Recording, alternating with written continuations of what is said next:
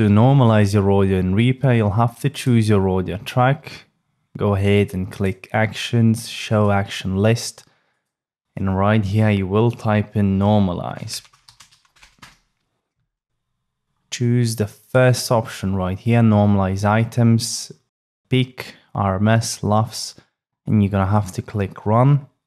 You'll have some options here to choose from. Um, so LUFS and RMS is popular. That's like a overall audio loudness. But right here we are choosing peak. So we will adjust the peak audio level of our audio recording and all the quieter parts are going to be adjusted relatively to that as well. So right now I will choose to make it minus two decibels and we're gonna click OK. And as you can see, it made the whole audio recording louder. So let's say if my peak was previously at minus five decibels, and now if uh, I set it to minus two decibels, that means that all parts of my audio recording now are three decibels louder than they were before.